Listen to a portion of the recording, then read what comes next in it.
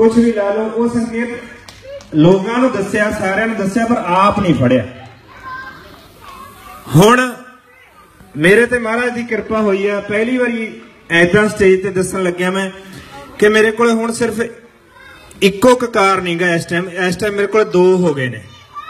ਤੇ ਤੁਸੀਂ ਦੁਆ ਕਰਿਓ ਕਿ ਛੇਤੀ ਉਹ ਪੰਜੇ ਆ ਜਾਣੇ ਮੇਰੇ ਕੋਲੇ। ਸਤਿ ਸ੍ਰੀ ਅਕਾਲ। ਤੇ ਸ੍ਰੀ ਗੁਰੂ ਗੋਬਿੰਦ ਸਿੰਘ ਜੀ ਪਾਤਸ਼ਾਹ ਦੀ ਦੇ ਜਨਮ ਦਿਹਾੜੇ ਤੇ ਮੈਂ ਉਹ ਸਾਰੇ ਪੰਜੇ ਕਕਾਰ ਲੈਣ ਲੱਗਿਆ। ਮਹਾਰਾਜ ਕਿਰਪਾ ਕਰਨ, ਤੁਸੀਂ ਦੁਆਵਾਂ ਦਿਓ ਤੇ ਮੁਆਫੀ ਕਬੂਲ ਹੋ ਗਈ ਮੈਨੂੰ ਲੱਗਦਾ ਮੇਰੀ। ਸੋ ਇਸ ਲਈ ਹੁਣ ਜਦੋਂ ਲਿਖੂੰਗਾ ਅਗਲਾ ਗਾਣਾ ਉਹ ਹੋ ਗਿਆ ਤਾਰੀਫਨਾਮਾ। ਹੁਣ ਮੇਰਾ ਮੁਆਫੀਨਾਮਾ ਬੰਦ ਹੋ ਜਾਊਗਾ।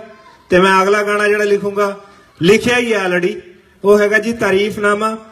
ਤੇ ਗੱਜ ਕੇ ਇੱਕ ਵਾਰੀ ਫਤਿਹ ਬੁਲਾਉਨੇ ਆ ਮੈਨੂੰ ਮਹਾਰਾਜ ਨੇ ਸੰਕੇਤ ਦਿੱਤਾ ਸੀ, ਬਾਅਦ ਚ ਮੇਰੇ ਥੱਪੜ ਵੀ ਬੜੇ ਪਏ ਨੇ 4-5 ਸਾਲ। ਮੈਂ ਮੰਨਿਆ ਨਹੀਂ ਸੀਗਾ। ਉਹ ਸੰਕੇਤ ਦਿੱਤਾ, ਲਿਖਿਆ। ਫਿਰ ਮਹਾਰਾਜ, ਕਈ ਵਾਰੀ ਤੁਹਾਨੂੰ ਜਿਵੇਂ ਮਾਂ-ਬਾਪ ਬੱਚੇ ਨੂੰ ਸਿਖਾਉਣ ਲਈ ਥੱਪੜ ਮਾਰਦੇ ਨੇ ਉਦਾਂ ਮੇਰੇ ਥੱਪੜੇ ਵੀ ਪਏ 5-4 ਸਾਲ ਚ। ਪਰ ਮਹਾਰਾਜ ਦੀ ਹੁਣ ਕਿਰਪਾ ਹੋਈ ਹੈ।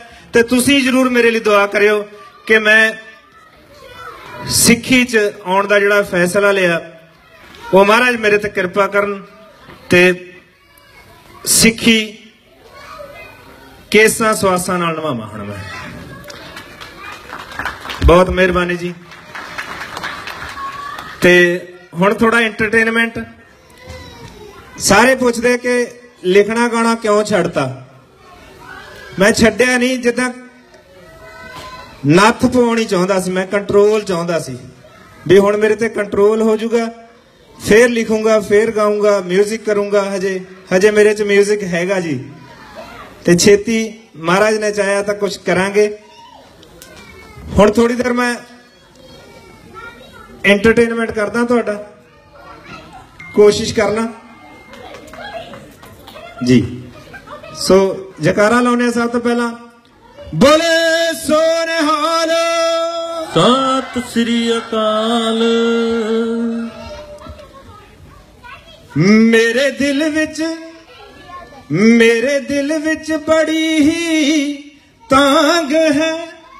ਰੱਬ ਨੂੰ ਦੇਖਣ ਦੀ ਪਾਉਣ ਦੀ ਉਹਦੇ ਚਰਨੀ ਲੱਗ ਕੇ ਜੀਣ ਦੀ। ਤੇ ਉਹਦੀ ਜੋਤ 'ਚ ਅੰਤ ਸਮਾਉਣ ਦੀ।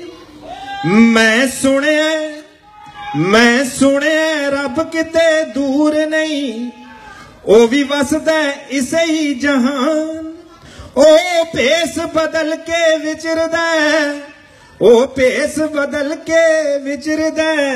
ਇੱਕ ਤੋਂ ਦੂਜੇ ਇਨਸਾਨ, ਪਤਾ ਨਹੀਂ ਕਦ ਕਿਸ ਭੇਸ ਵਿੱਚ ਮੈਨੂੰ ਮਿਲ ਜਾਣਾ।